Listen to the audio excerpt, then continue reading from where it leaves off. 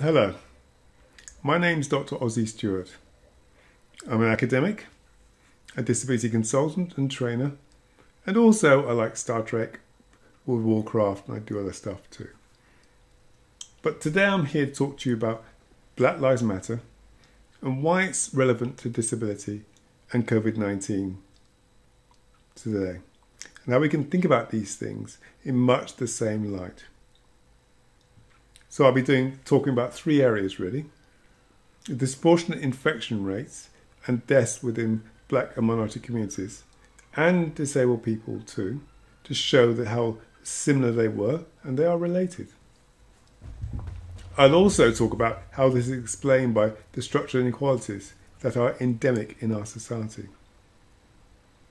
And finally, I'll talk about how this relates to Black Lives Matter and how this shows what needs to change we want to make things better for everyone.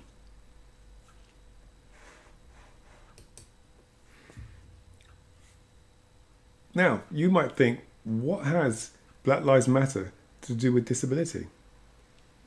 However, if I were to tell you that the death of George Floyd, shot by a police officer in Minnesota in the summer of 2020, was directly related to a disabled woman in Clapham in the early 70s who was very ill with the virus COVID 19, you would be correct to wonder how. Three sets of statistics will show why these two apparently separate events are directly linked to each other. The first one is about statistics and death rates among black and minority community, black and minority community in the United Kingdom. The report by Public Health England, August 2020, named disparities in the risk and outcomes from COVID 19, stated clearly that people from black ethnic groups were more likely to be diagnosed, and also death rates were, were highest amongst people from these communities too. So not only were they diagnosed as being more likely to be diagnosed with COVID 19, they're likely to die, more likely to die. After accounting for age, sex, deprivation, region, uh, people of Bangladeshi ethnic origin had twice the risk of death than people from white, black, white British ethnicities. People from Chinese, Indian, Pakistani, other Asian, black, Caribbean, and other black ethnicities were between 10 and 50% more likely to be to die from COVID-19 than compared to white British. This is the opposite of what we've seen previ- in previous years, when the mortality rates were lower among Asian and black ethnic groups than white groups. So what we're seeing here is an increase in uh, health inequalities, which actually was declining before. So COVID-19 was definitely the factor. We look at this data for disabled people. Sadly, it's similar. Disabled people, as defined by the Equality Act and by the people identifying themselves, made up almost 6 out of 10, that's 59%, of all deaths involving COVID 19 during this period. Obviously, you, you would work out straight away. This would include a lot of people from, minority communities. Disabled people were made up around 16% of the study population, followed from centres. So, what this really means is that of that 16% of people, they made up almost over half, almost 60% of all deaths from COVID 19. That's a phenomenal number. After adjusting for region, population density, socioeconomic and demographics, poverty, etc., housing characteristics, the a difference in mortality rates between disabled people with limiting a, a high limiting uh, life experience and those non-disabled people were 2.4 times higher for female and two times higher for men, for males. In other words, if you had a life limiting disability, you are twice as likely to die from COVID 19 than anyone else in our society. The reasons for health inequalities um, amongst minority communities um, were based, are structural. They're obviously to do with age. Obviously, the older you get, whether male or female, the more likely you're likely to die from COVID 19. However, in comparison for the majority population, this was more significant for those communities. Same with gender. Men were more likely to die than women, especially those who were over 80 years old were 70 times more likely to die from anyone else. So, simply again, if you're from a minority community, you are more likely to die if you're an older person. Geography as well. Local authorities with highest diagnosed diagnoses and death rates were among mostly urban. Death rates in London, for example, were three times higher than the lowest, region, lowest density region, which is southwest. One of the main drivers for death was deprivation. Diagnosis and death from COVID 19 in those living in high deprived areas, mostly deprived areas, was more than double the least deprived areas for both males and females. So if you're from a black minority community living in a deprived area, you were at significant risk compared to anyone else. Occupations such as nursing, security guards, taxi drivers, chauffeurs, chauffeurs, sorry, bus and coach drivers, chefs, sales representatives, retail assistants, low skilled workers on construction and processing, those working in social care as well, had a significantly high death rates of COVID 19 than any other group. I don't need to say that in these forms of employment, black and minority people, minority community, people from black minority communities predominated, especially in places like London, Bristol, Bradford, uh, Leeds, Liverpool, etc. Finally, comorbidities, co- comorbidities, that is um, the variety of illnesses you can have from diabetes, poor um, heart conditions, uh, etc., high blood pressure, etc., etc., was also mentioned uh, on, a, on a significant number of the death certificates of those who died. For example, of the COVID 19 deaths, diabetes was mentioned on 43% of certificates from Asian groups and 45% of black groups. This compares with a mention of only 21% on certificates in general. So we know that if you're of a black community, live in a poor area, you, you've got a low paid job, and you have a comorbidity, you are at significant risk when compared to anybody else. So, what about disability?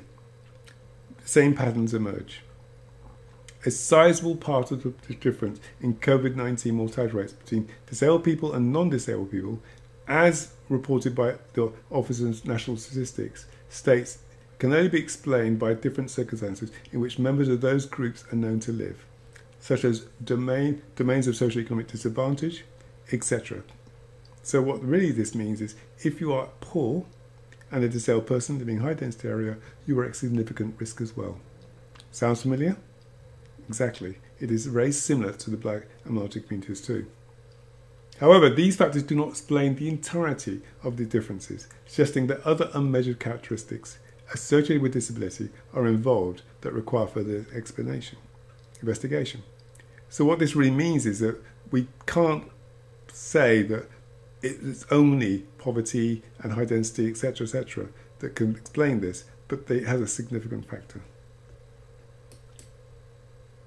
What we can say, though, is structure of our society drives these inequalities.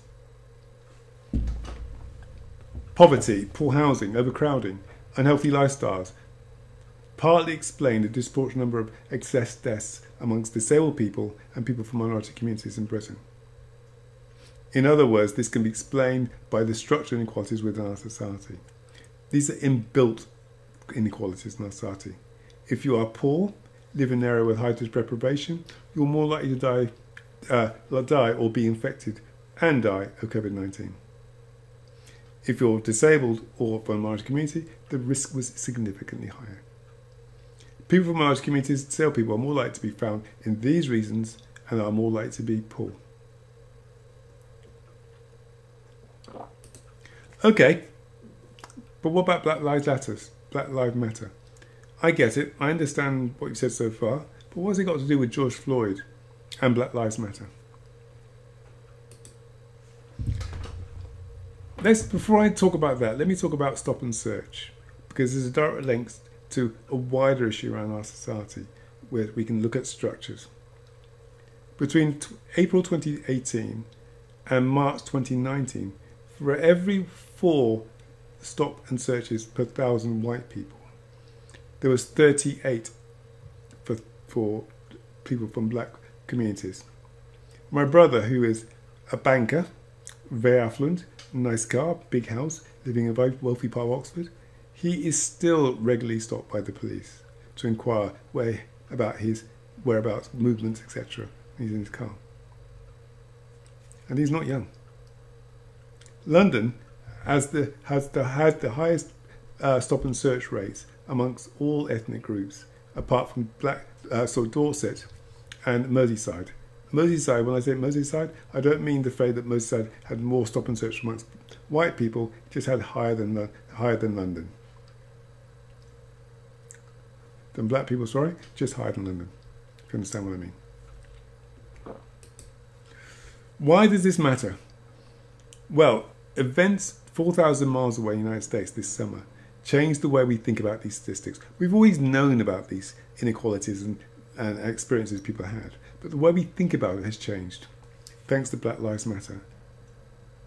George Floyd's death in 2020 during an arrest uh, by police officers was not the first.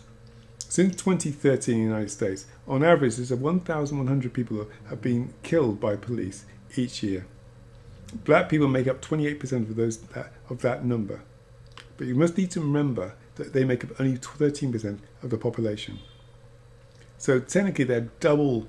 They have twice as likely to be killed by police officers than anybody else in the United States. That resonates. Doesn't that ring a bell with our stop and search issue? The perception is, supported by data, that black people's experience, uh, experience black people experience, both the United States and Britain, disproportionate levels of violence and discrimination simply because of who they are. Disabled people, uh, disabled people also are likely to experience crime, poor health, poor outcomes, simply because of who they are. In other words, both groups matter less than the rest of the population in, in, in the way in which our society works, the way our society operates. They are treated less favourably and less equally, or inequalities impact on them more significantly. That social, economic, political power serves to maintain this status quo, which means that these people from these communities are always automatically disadvantaged in every aspect of, of, of life and what they do, how they move around our society. While the majority population, both in the United Kingdom and the United States, mainly white, I'll add as well, enjoy a relatively privileged position by comparison. What this basically means is they don't experience the things that disabled people and black people tend to do.